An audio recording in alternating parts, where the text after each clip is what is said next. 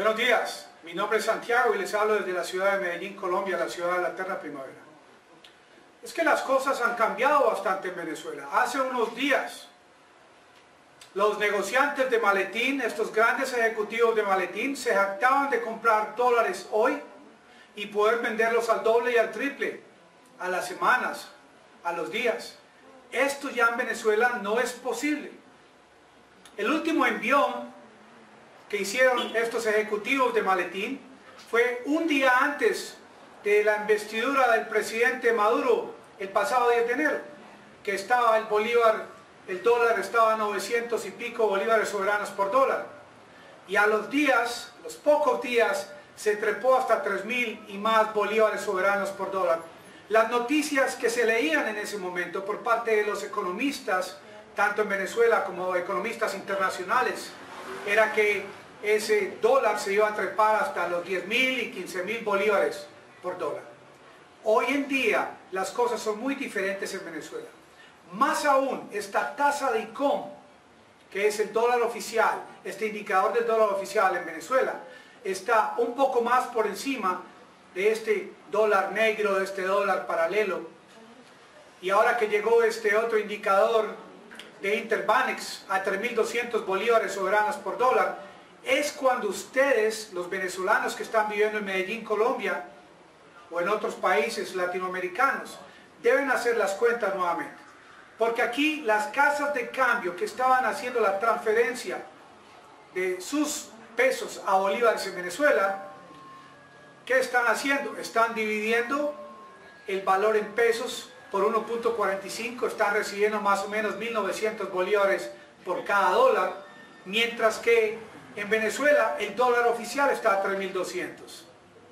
Es hora de reevaluar porque las cosas en Venezuela están cambiando y están cambiando para bien del país. Yo sé que muchos de ustedes en este momento pueden sentir incertidumbre, gran temor en que las cosas pueden terminar en una confrontación bélica. Algunos de ustedes me han comentado que en el día de ayer se escucharon las hélices de helicópteros en la frontera colombo-venezolana.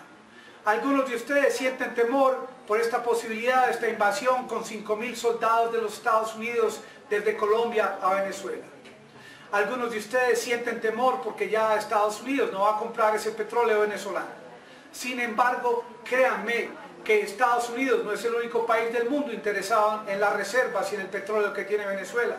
Está la India, está la China, está Rusia y muchos otros países que ven con gran aprecio la bondad de ese petróleo pesado que sale de la tierra venezolana. Es este el momento en que ustedes los venezolanos deben dejar de sentir ese temor porque van a ser invadidos. Deben dejar de sentir ese temor porque se van a tener que resguardar como lo hacen en Israel cuando hay confrontaciones con sus vecinos. Es este momento en el cual ustedes deben luchar por ese día a día, porque créanme que Juan Guaidó y los aliados de Juan Guaidó no van a ir a llevarles con esta ayuda que va a mandar los Estados Unidos, ese mendrugo de pan a sus hijos que están en las escuelas. Y le van a llegar ese suétercito o esas chanclas o ese zapato, ese calzado a todos estos hombres y mujeres de la tercera edad que ambulan en Venezuela. Esta ayuda que quiere Estados Unidos enviar a estas cuentas bancarias de Juan Guaidó va a ser usada, 100% para la compra de armamento bélico, para conspirar con el gobierno del presidente Maduro. Créanme que este dinero que la FED va a enviar desde los Estados Unidos a Juan Guaidó y sus cuentas no va a ser utilizado para brindarles a ustedes medicamento, para darles vivienda, para darles calzado, para darles alimento. Este dinero en este momento va a ser usado para propulsar, impulsar esta oposición al gobierno de Maduro, que lo que ha hecho, como lo hizo en el 2014 con las famosas guarimbas, es crear caos, incendios y malestar en todas las poblaciones de Venezuela. Es que el gran maestro de Juan Guaidó, que en este momento está encarcelado, casa por cárcel, Leopoldo López, es quien está pendiente de todos los sucesos desde el 10 de enero, porque es él el quien quiere ser presidente de Venezuela no Juan Guaidó, que Juan Guaidó en este momento está actuando como testaferro, es Leopoldo López quien espera que esta amnistía de la cual habla tanto la Asamblea Nacional, lo cobije para poder luego lanzarse en estas famosas elecciones que pide la comunidad europea que se hagan nuevamente en Venezuela.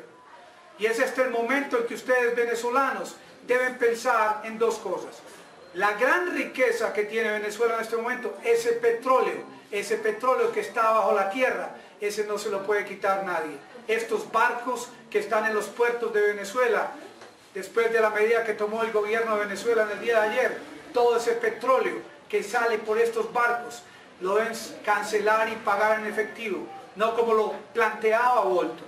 Porque Bolton tiene unos proyectos imaginarios de cómo esta riqueza de este petróleo va a llegar automáticamente a las cuentas de la oposición. En este momento, Juan Guaidó es un rey de papel. En este momento, Juan Guaidó, presidente de papel de Venezuela, no puede ni siquiera, ni por teléfono, ni personalmente exigirle al más raso de los soldados de Venezuela que le traigan un tinto, porque él no tiene ese poder, él no es el jefe supremo de las Fuerzas Armadas de Venezuela. En este momento el jefe supremo de las Fuerzas Armadas de Venezuela es Maduro. Juan Guaidó no tiene el poder para generar un salario mínimo. Juan Guaidó no tiene el poder para intervenir en cuál va a ser el sueldo de las enfermeras, de los profesores de Venezuela. Es un rey sin poder. Y no podemos permitir que esa idea que ellos tienen, que va a tomar muchos meses y años en acercarse a una posibilidad, pueda poner a su país en, en un limbo en el cual ustedes ni para atrás ni para adelante, porque ustedes tienen que comer y tienen que vestirse y tienen que vivir. Que sea este el momento en que ustedes venezolanos se apeguen a ese gobierno que bien o mal ha hecho tanto por tantos millones de gente pobre en Venezuela. Más de 6 millones de venezolanos se han venido beneficiando a través de los diferentes programas que brinda el Estado en vivienda, educación, y ustedes mismos desde Venezuela han visto cómo Estados Unidos y otros países desde hace muchos años han venido obstaculizando el mantenimiento de la economía en Venezuela. Con estas casas de cambio desde Colombia, ¿cuánto han afectado? Y ustedes mismos lo han visto. Y eso no habla nada del gobierno americano a sus ciudadanos. Es que ustedes, ciudadanos de los Estados Unidos, deberían ver estos videos y esta información consignada en cantidad de folios que están en las principales bibliotecas de Venezuela, que están en la mente de tantos niños, jóvenes y adultos en Venezuela, que han visto cómo este dólar que hoy compran a un precio, a los dos, tres días lo venden al doble.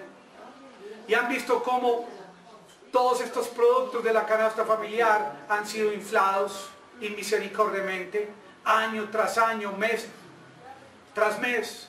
Y es ahora este momento en que se ha ganado esta batalla contra el dólar negro, con esta paridad que hay entre el oficial y el, y el paralelo, cuando se puede garantizar a la economía venezolana una estabilidad duradera.